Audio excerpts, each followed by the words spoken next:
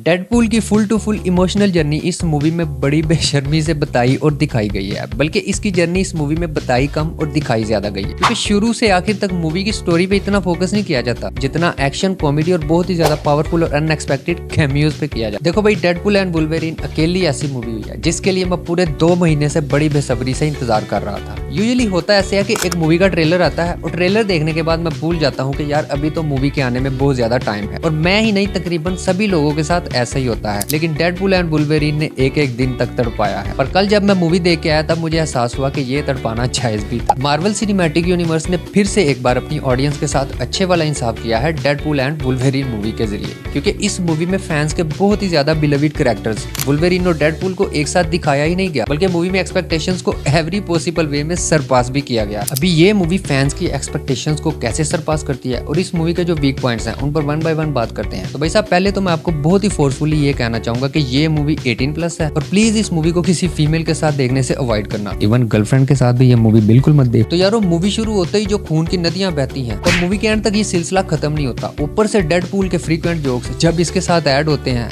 पैंस की आँख, क्या बवाल मचाते हैं। क्योंकि भाई वुलवेरिन एक सीरियस करेक्टर है। इतना भी सीरियस करेक्टर नहीं है बट यू कैन से वुलवेरिन एक बहुत ही ज़्यादा खड़ूस अनफ्रेंडली और रूट सा करेक्टर है। लेकिन जब इसके साथ डेडपूल जैसा बोल्ड फनी और एवरी टाइम ब्लंट रहने वाला करेक्टर मिल जाता है तो क्या बनता है? मूवी देखे बगैर ही आई थिंक आप ये अंदाज़ा लगा ही लो। एक्चुअली इसी चीज़ पर डेडपूल एंड वुलवेरिन मूवी में सबसे ज़्यादा फोकस भी किया गया है। और इस मूवी के डायरेक्टर शॉन लिवाई ने यहाँ पर ये बात प्रूव भी की है कि कैसे आप जस्ट ऑडियंस के डिजायर्ड करेक्टर्स को स्क्रीन पर दिखा के बॉक्स ऑफ़िस को फोड़ सकते हो। नहीं समझे ना मेरी बात? दूसरे लफ्जों में बताऊँ तो शॉन लिवाई ने और डेडपूल का एक्शन और जस्ट कॉमेडी दिखा के कैसा इस मूवी को ब्लॉकबस्टर बनाया है। आई बिलीव आप मूवी देखने के बाद इजीली ये बात समझ जाओ। हालाँकि मूवी की स्टोरी काफ़ी ज़्यादा वीक और मूवी की विलाइनस भी कुछ खास नहीं थी। मतलब है तो बहुत ज़्यादा पावरफुल थी, लेकिन लिमिटेड स्क्रीन टाइम की वजह से मार्वल में इसका अच्छे से इंट्रोडक्शन भी नहीं हो पाया और इन चीज़ों की अपने को बिल्कुल भी परवाह नहीं। क्योंकि मूवी में ऐसा गजब एक्शन और कॉमेडी है ना, जो मूवी के शुरू से आखिर तक खत्म होने का नाम ही नहीं लेता। कि भाई साहब मूवी की बकवास स्टोरी और विलाइनस के शॉर्ट स्क्रीन टाइम पर आपका ध्यान ही नहीं जाएगा। और ऊपर से इस मूवी में जो कैमियोज नज़र आए हैं, यार अनबिलीवेबल मतलब ऐसा ऐसा कैमियो ट्विस्ट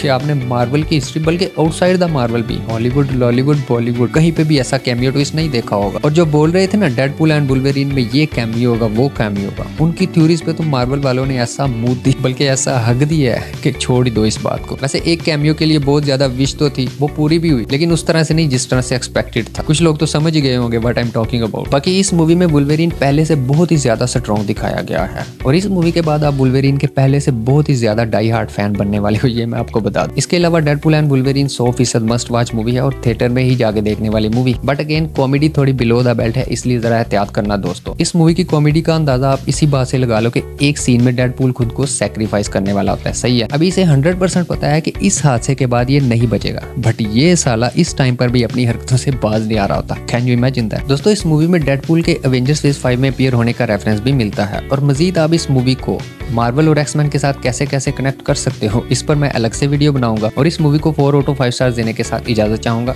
अल्लाह हाफिज।